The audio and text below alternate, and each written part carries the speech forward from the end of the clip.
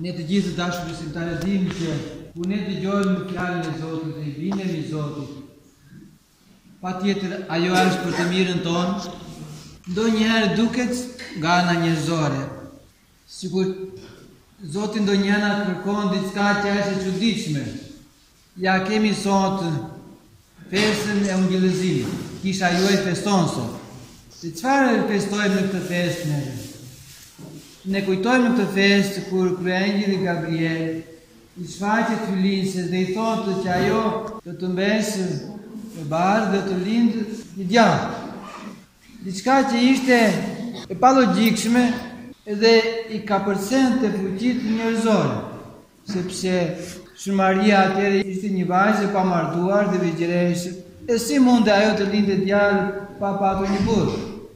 E megjithatë, Hyjlindësja pranoi fjalën e kryeengjëllit, pranoi këtë gjë që dukej e çuditshme për jetën e saj, edhe nëpërmjet kësaj bindjeje të saj, që thotë Hyjlindësja thotë, Ja, shërbëtorja e Zotit u bëftë si dëshiron Zoti.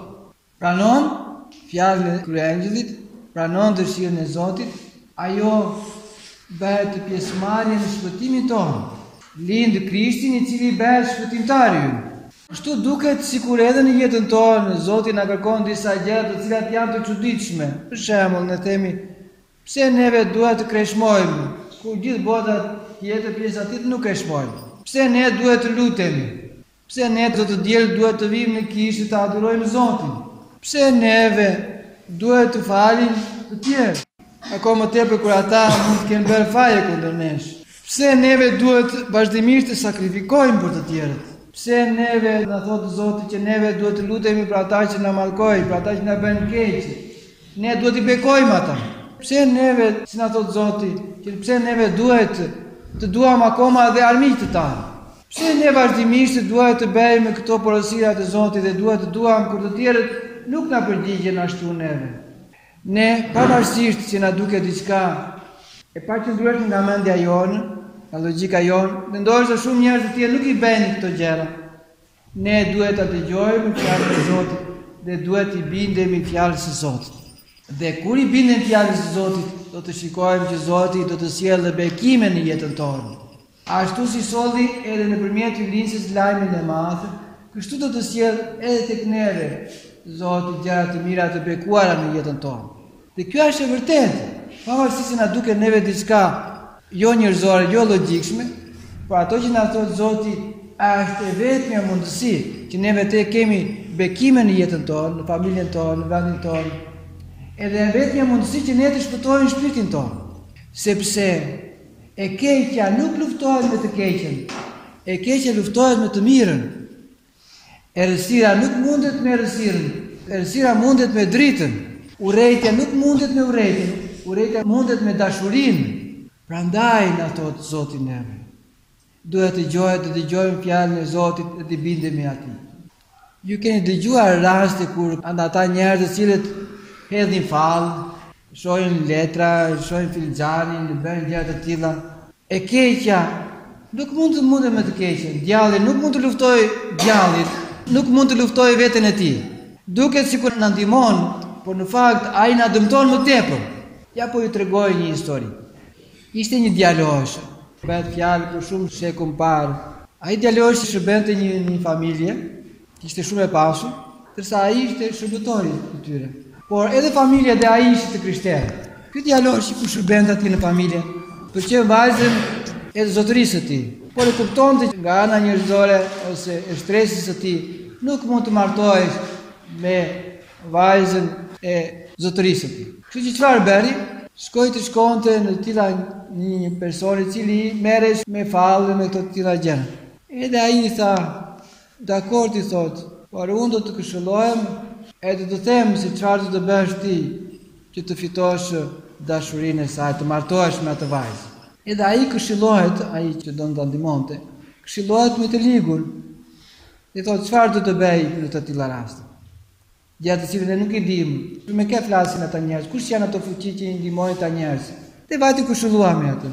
Edhe ai që këshilloi, i tha, duhet t'i thuash që të mohojë besimin e tij, e ta shkruajë atë mohimin me shkrim, Ashtu bëri, i thotë djaloshit, thotë, do të ndihmoj, thotë, por me kusht, thotë, që ti, thotë, të mohosh besimin tënd, të mohosh shpirtin tënd, e ta shkruash, që unë i mohoj të gjitha këto gjëra. E bëj, thotë ai djaloshi, i mohoj të gjitha, edhe besimin, edhe shpirtin, çdo gjë tjetër, edhe i shkruaj të gjitha në letër. Ndodhi me të vërtetë që ai burri e ndihmoi dhe papritur ajo vajza e atij zotërisë së tij, filloi të thotë dua të martohem me filanin, dua të martohem me filanin, dhe u martuan pas kundërshtimeve të shumta që kishte i ati, martohen. Kalon një farë kohe dhe burri i kësaj vajzës, ose djaloshi që ishte atje, nuk shkonte më në kishë. As s'lutej, s'merrte pjesë në misteret e kishës, E panë njerëzit që qëndronin rreth familjes së vajzës dhe i thonë, Më duket se burri jot nuk është i krishterë.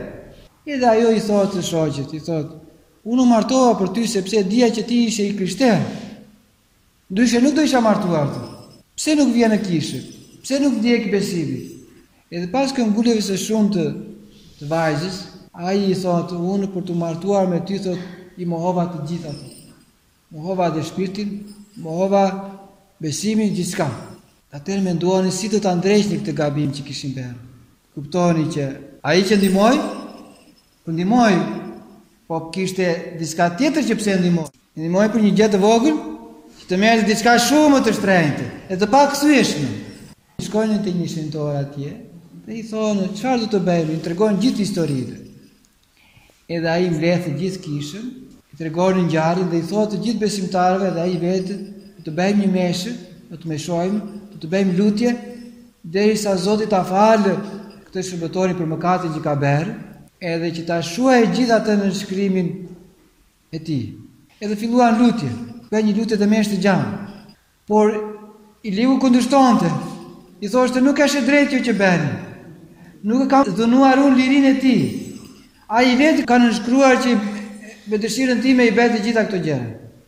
Kurse prifti dhe besimtarët luteshin, Zot, dëgjoje lutjen tonë, fale mëkatin, fale mëkatin. Edhe pas shumë lutje të gjatë, edhe pendimit të tyre, vjen fleta në dorën e djaloshit, tashmë e shuar nga gjithë ato që çfarë ai kishte nënshkruar me dorën e tij.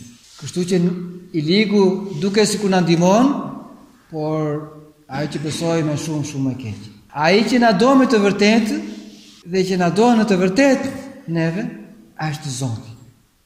Prandaj duhet ta dëgjojmë Zotin. Prandaj duhet të ndjekim porositë e Zotit. I ligu dhe fuqitë e këqija ekzistojnë. Ne nuk e mohojmë dot një gjë të tillë.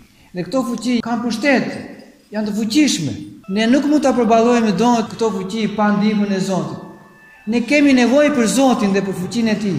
Prandaj vijmë në kishë. Prandaj besojmë. Prandaj kungohemi. Prandaj mbajmë kreshmën. Prandaj ndjekim gjithë porositë e Zotit, që të kemi Zotin si forcë për të përballuar të gjitha ato tundime, të vështirësitë, rreziqet, kurthet, frymërat e këqija na bëjnë neve. Si thot apostulli Pavli thot lufta jonë thot nuk është kundër mishit dhe gjakut, domethënë nuk është kundër një njeriu, por është kundër frymave thot Sa të fuqishëm duhet të jemi ne? Që të përballojmë, duhet të bashkohemi me Zotin. Edhe Zoti na tregoi që me pikërisht nëpërmjet tij, duke ruajtur porositë e tij, duke ruajtur mësimet e tij, nëpërmjet dashurisë që na thot Zoti, ne mund të përballojmë gjithçka. Dhe atë gjë e bëri vetë Zoti. Ai Që Zoti i fuqishëm e përul veten e tij. Bëhet njeri për neve. Jo vetëm kaq, po vjen e qëndron mes nesh. Na mëson ne. Vuan për neve. Vuan, sakrifikohet. Vdes Zoti për neve, për të na treguar që rruga e vetme për të mundur të keqen është nëpërmjet kësaj rruge që na tregoi Zoti, nëpërmjet sakrificës dhe dashurisë. Edhe nëpërmjet kësaj rruge Zoti mundi dhimbjen, mundi vdekjen, mundi të ligun, dhe na solli neve lajmin e gëzueshëm. Që sot dëgjojmë nëpërmjet Hyjlindëses, lajmin e gëzueshëm që vjen ai për na shpëtuar dhe na hap përsëri rrugën për në jetën e përjetshme Por, ai na tregon që Ai do të jetë vazhdimisht bashkë me ne, deri në fund të jetës tonë, në të gjitha sfidat, në të gjitha vështirësitë, do të jetë vazhdimisht Zoti bashkë me ne. Por, vetëm me kusht që ne të dëgjojmë zërin e Zotit dhe të ruajmë porositë e Tij. Nëse do të bëjmë të tillë, atëherë do të kemi ndihmën e Zotit. Edhe me të vërtetë, lajmi i sotëm i ungjillëzimit do të ketë kuptim në jetën tonë, kur neve ruajmë porositë e Zotit. Ja, për dy javë do të kemi Pashkët e mëdha. Dielën tjetër është dhe diela e dafinave, pasaj është java e madhë që kemi gjithë ato ngjarjet që kujtojmë neve të pësimeve të kryqëzimit të Zotit të ngjalljes së Zotit, për të na kujtuar dhe njëherë Sa e rëndësishme është që ne të ruajmë besimin tonë, sa e rëndësishme është që ne të ndjekim rrugën e Zotit, sa e rëndësishme që fëmijët t'i mësojmë në këtë rrugë të Zotit. Sot i gjithë fshati këtu duhet të ishte të merrte pjesë në liturgjinë hyjnore sepse feston kisha këtu. Të gjithë duhet të ishim sot. Çfarë tregojmë, si tregojmë neve që besojmë te Zoti? Si tregojmë neve që sakrifikojmë te Zoti, te Krishti, të paktën një orë në javë neve duhet të sakrifikojmë për dashurinë e Zotit. Edhe Zoti pasaj do të sjellë dhe bekime në jetën tonë. Gëzuar për shumë vjetë, Zoti të na ndihmojë dhe deri në fund ta udhëtojmë jetën tonë me besimin tek Ai. Amin.